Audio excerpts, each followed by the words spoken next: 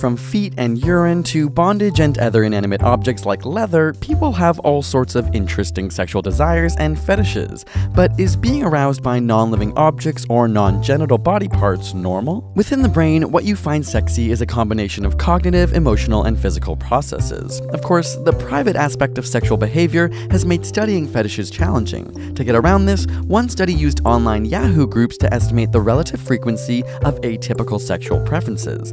Looking at 5,000 online users, researchers discovered that the greatest number of fetishes were not just of body parts, but of objects associated with body parts like shoes or headphones. Popular groups included bodily fluids and body size, but the most popular group was by far the feet and toes. This is because there's actually a neurological basis for foot fetishes. If we investigate this visual map showing which areas and proportions of the brain are dedicated to processing sensory functions, we see that feet, toes, and genitals are all physically right beside each other in the brain.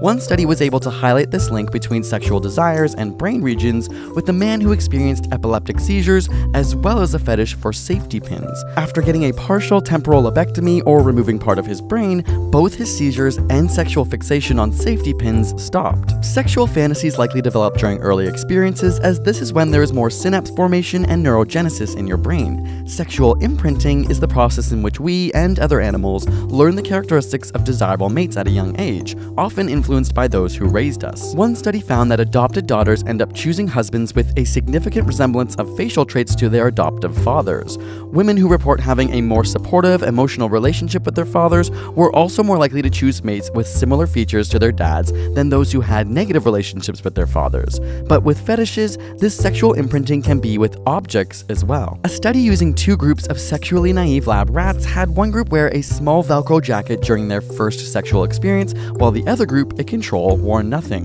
When sexually mature, the control group displayed normal copulation behavior whether wearing the jacket or not, whereas the jacket group were unable to achieve sexual arousal without their jackets. This same study has been done with other objects and had similar results. This could explain why a person with a leather fetish may have difficulty getting off without leather. A separate study on rats had one group of male rat pups lie on bedding scented with lemon, and the other group lay on unscented beds. For their first sexual experience, they had the option of two sexually receptive females, one scented with lemon and one without. The control group mated with either female at a normal frequency, while the lemon laying group preferred lemon scented females. But these specific desires or preferences could be blocked by naloxone, which blocks endorphins or the feel good neurotransmitters from binding to the opioid receptors in the brain, thus blocking the sexual reward that is attributed with the Velcro jacket or the smell of lemons. While we know a lot about rat fetishes, there isn't much research on rare sexual preference in humans, and in the past they were often listed as mental disorders. But while your specific sexual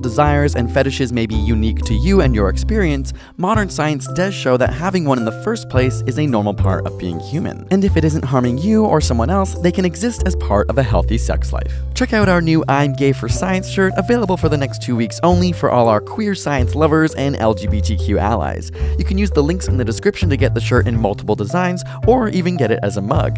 Get it before it's gone, as there's a limited amount. Thanks again for always supporting our channel and helping our little corner of science love thrive and subscribe for more weekly science videos every Thursday.